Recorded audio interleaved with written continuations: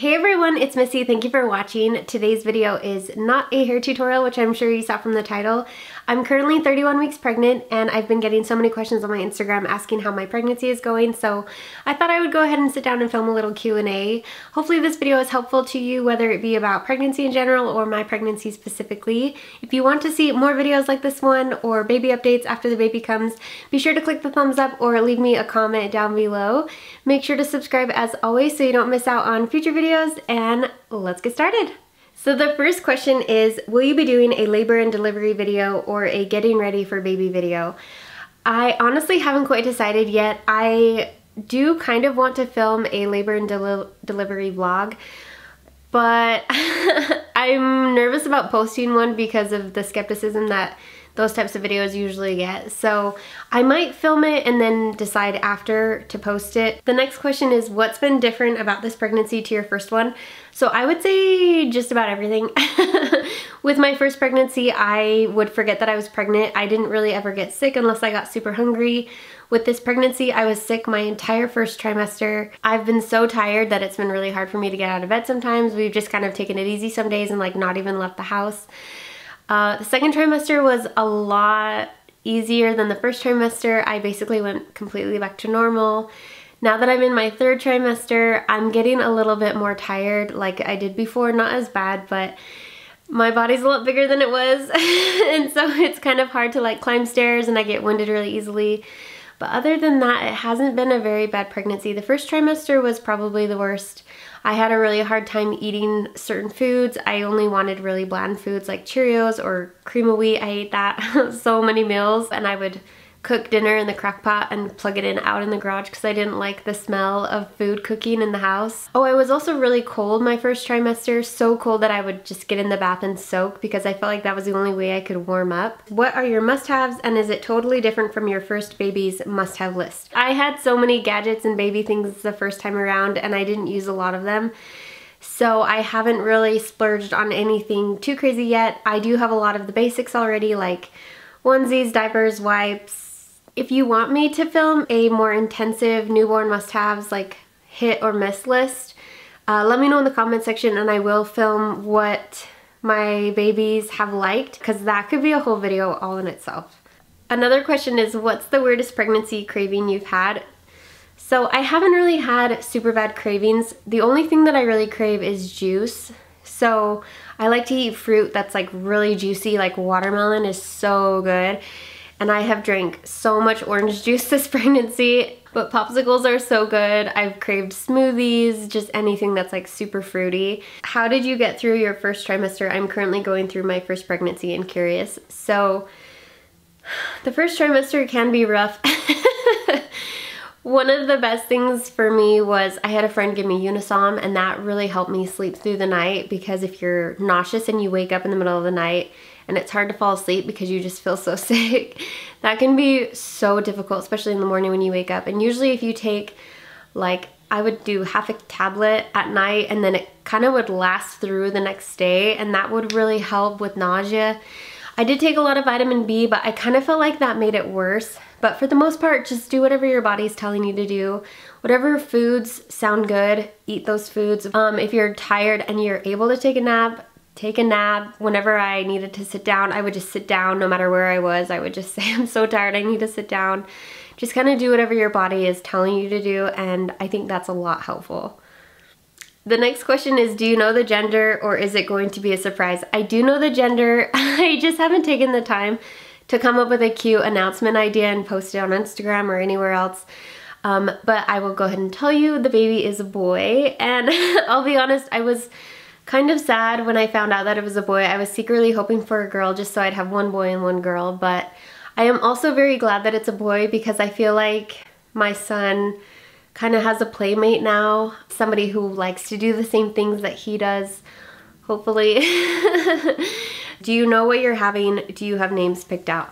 So I have one name that I really, really like and I'm kind of hoping to just be able to use that name. I've told it to my husband and I do have con concerns about the name.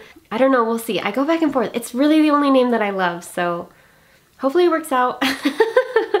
I'll let you all know once the baby comes what the name is.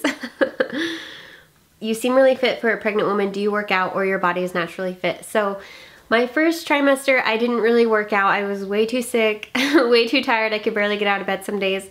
My second trimester, I went completely back to normal, so I started working out. We were going on a trip to Mexico and I knew I was gonna be in a swimming suit, so I really wanted to be in better shape. So I started working out five days a week and I just did uh, little workout videos on YouTube. I was doing cardio and lifting weights for the most part. I did that for about two months and then we went on our trip and came back and it was the middle of summer and so I kind of took a break from working out just with all the holidays and all the family things I kind of stopped working out for a little while. I've recently started working out again and I do go on walks every night just to kind of keep my body hopefully limber for labor. I really enjoy going on walks, so I do that all the time. What hairstyles do you recommend to hide the postpartum bald spots at the temple? This is a really good question because I, I kind of worry about this. I don't know how much of my hair I'm going to lose. With my first son, I lost all of this hair in my temples. I was really bald right here. And I think the best thing if you lose hair in that area is to just kind of use other hair that you have to hide it don't do any hairstyles that are going to attract attention to that part of your head. I have also used eyeshadow that matches my natural hair color and kind of filled in sparse areas just so it looks a little bit more like it's not as bald as it is. What is something that you thought would be difficult about pregnancy but turned out not to be a big deal? So I don't know if there's really anything that I thought would be difficult. I would definitely say for me, being pregnant is easier than having the baby itself. So I try to just enjoy it, take it as it comes and not rush through pregnancy. Question is, what hairstyle do you plan on wearing for the big day labor and delivery? I would love to wear my hair down, curled and gorgeous, but chances are it's probably just going to be up in a big messy bun. Has your hair changed through pregnancy, dry, oily? I haven't really noticed a difference with my hair. It has grown a lot more quickly and I don't know that from my hair itself. I know that from like my armpit hair because I shave all the time now. It's like every other day I, I it's just growing a lot more quickly and then my nails, like I'll go and get my nails done a lot more often than normal. So I know like my hair, skin, and nails are my skin doesn't grow. What am I talking about? my hair and nails are growing faster than normal.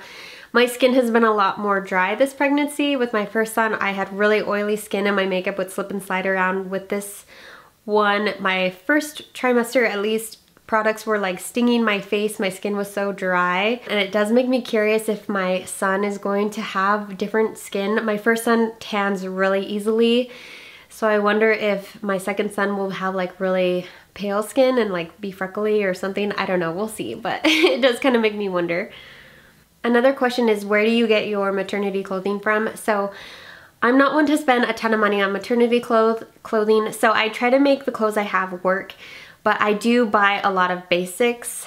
I have bought two pairs of leggings from Motherhood Maternity. Those are the best. They're like the full belly pull-up situation. Those are amazing. I get a lot of t-shirts from Gap and Old Navy I have gotten a few tank tops from Target and then a pair, a few pairs of short, pair of shorts, some pants, something from H&M. They have a maternity line, so just, just a few basics mostly. The next question is, I remember you saying once that you were not going to have another baby. Now that you're pregnant, have your feelings changed? Are you excited, nervous, and mentally prepared? So I am definitely more mentally prepared for this baby. and the reason is because I waited and waited and waited until I was ready to have another baby. I I did think for a long time that I wasn't going to have another baby just because I really enjoy doing my videos and my blog and creating content. But I also had a constant nagging that I was supposed to have another baby. and so I just kind of put it off and put it off and put it off. And after like a year of postponing it, I finally said to my husband, let's just have another baby. I can't get this feeling to go away. And then, you know, Cohen won't grow up an only child, he'll have a sibling. Our family will feel more completed and hopefully this feeling will subside and stop nagging at me to have more kids. So I did take a long time to mentally prepare to have this baby and I'm glad that I did because Cohen is a lot older now. He's more independent. He can do a lot of things on his own and so I don't feel like I'm going to be having two babies at once. I do worry about their age gap. They're going to be almost five years apart, but I'm hoping that as they get older, they'll just become better friends with age. they will have different interests for most of their younger life. I'm excited. I am nervous. I'm all the feelings. the next question is, how does your son feel about becoming a big brother? So he's really funny because he's very concerned about the baby sucking on his toys. the other thing is he really wants the baby to be a girl. And I could not figure this out for the longest time, but I think it's just because he's had a lot of girls in his life. Like he has two cousins that are his favorite people and they're both girls. His friend in the neighborhood is a girl. His Sunday school class is full of girls. I think he's just been thrown together with girls more often than boys.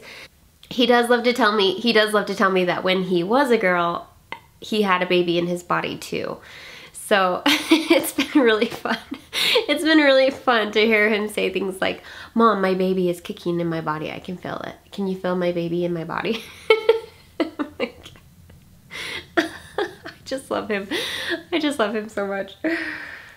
This is an interesting question kind of. Did you plan your pregnancy? If yes, then how long did it take you? So we did plan the pregnancy. It didn't take long at all. I am capable of getting pregnant really easily.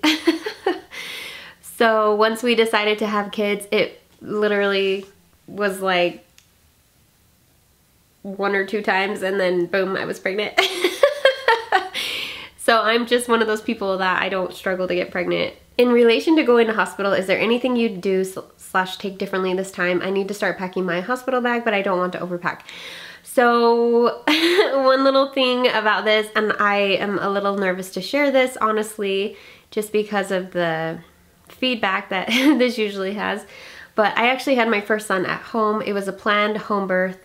I had a midwife and she had an assistant that helped me label, labor and deliver my first son. I had planned it that way. I had always planned it that way. So with this baby, I do plan on having a second home birth. We are only eight minutes from the hospital, so we are within a drivable distance to rush to the hospital if anything goes wrong. But so far my pregnancy has been completely normal. Nothing has come up that should cause alarm or issue.